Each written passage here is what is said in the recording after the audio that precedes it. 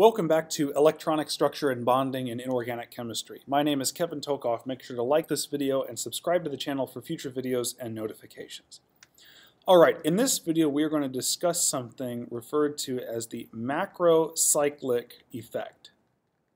Now, if you don't know anything about the chelate effect, or you haven't watched the video on the chelate effect, I recommend you go back in this playlist and watch that. What the chelate effect is, is whenever you have a multidentate ligand, it could be bidentate, tridentate, tetradentate, whatever. When you have a multidentate ligand, and all of the donor atoms of that multidentate ligand are binding to the same metal ion, there's a drastic increase in stability. In fact, why don't I just go back and basically show you? All right, let me go back. Um, hold on. Let me do this. Open recent. Uh, I think it's this one. All right, so I go back to this.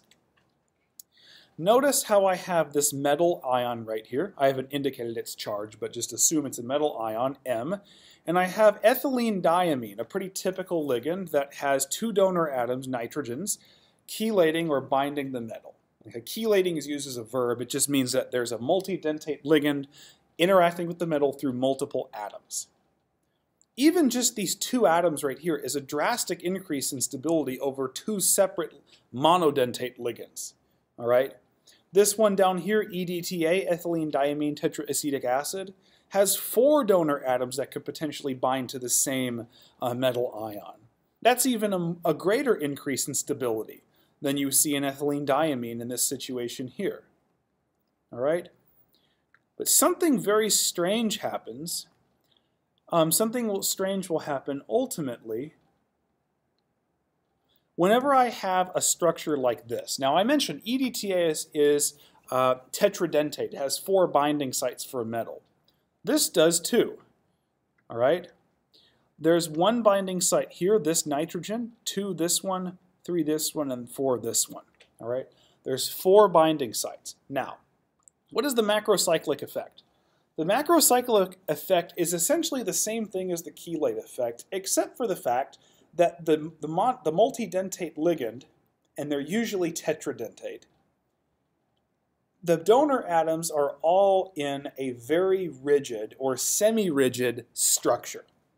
All right, they're part of usually a very large rigid structure. Now, if you haven't taken biochemistry, uh, this molecule right here is re what's referred to as protoporphyrin, protoporphyrin 9, okay? I use this example because biological systems are notorious for utilizing the macrocyclic effect. They're going to make these very large, rigid structures, usually aromatic, and in fact, every ring structure in this molecule is aromatic. So as a result of being aromatic and completely conjugated throughout the ring, all the pi electrons are conjugated, it's extremely rigid and planar. It doesn't really fluctuate or move a lot. And so these nitrogen atoms are fixed in a relatively uh, limited position. They don't they don't move around. It's very rigid. Okay? So that means within here, within this region, there's a very defined amount of space in that area. And it turns out that there's only specific ions, very few. In fact, in this case, there's only one that can fit in there. All right? So not only, to, see, with the chelate effect, you can have different ligands that bind to a lot of different metals. With the macrocyclic effect, because generally these structures are very rigid, number one, the interactions with the metal are a lot, a lot more stable than they are in just the simple chelate effect. But usually because these rings are rigid, they're usually specific for only one or two metals. All right, and in this case, the metal is iron. Okay, and it can be iron 2 plus or 3 plus, although generally it binds in the 2 plus state. Okay, Iron fits in here exactly. And the reason the macrocyclic effect is so powerful is two reasons. Number one, it's just it's just an application of the chelate effect. It is the chelate effect. Multidentate ligand, a rigid structure, and the, in fact, because it's so rigid, that also makes it more stable. On top of the fact there's four donor atoms.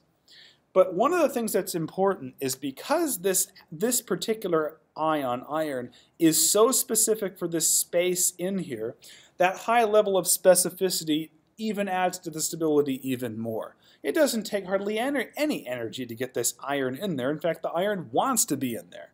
In fact, you get a release of energy. It doesn't take energy to put it in. You actually get a release when iron goes into here. All right? So with the macrocyclic effect, you have multiple things at play. You have, again, you have multiple multiple donor atoms. That's number one. That's just the chelate effect, right? You have multiple donor atoms you have a rigid ring structure, thus the name cyclic, macrocyclic, a rigid ring structure that has the donor atoms.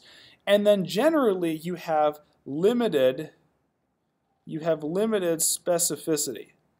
Limited specificity, I'm really messing up that writing, but limited specificity for the metal ion. In the case of protoporphyrin 9, which is in biological systems, this is in your body right now, it's iron. And in fact, when you put this iron in here, it becomes a very special molecule referred to as heme. This molecule is heme, specifically it's heme B. Okay? It's found in a lot of enzymes as a coenzyme. Very important. In fact, it's in your mitochondria, in your electron transport chain. It's, it's attached to red blood cells. Okay, so it has a lot of very important functions. It picks up oxygen and so forth, and it's used with various enzymes. But the reason it uses this iron is because this space in here is just perfect for the iron. It's too small for some of the bigger ions, and it's too big for some of the smaller ions. Okay. Now, one other thing I just want to mention, and this is sort of, kind of, sort of the genius of the design of uh, of these macrocyclic rings. If you have free iron sitting on a table, fine. Nobody cares. It's just iron sitting on a table. You put this iron, free iron, in a cell, can cause a lot of damage. Iron is prone to giving up electrons and oxidizing things. It could oxidize your DNA. That's a problem. One of the reasons you have these macrocyclic structures like protoporphyrin 9, porphyrin rings and things like that, is because by trapping the iron in this ring, chelating it in other words through the macrocyclic effect, it prevents it from doing all sorts of oxidative damage. Okay, There are some other examples of this too. What I recommend you look at, and it's actually really interesting to read about, is look specifically at vitamin B12. You may also look this up as cobalamin. Vitamin B12 is arguably, and I, I'm pretty sure about this, it's the largest, the largest small molecule in all of biochemistry. B12 is massive. It's bigger than this, and it also has um, in a cobalt, a cobalt ion, usually in the plus one state.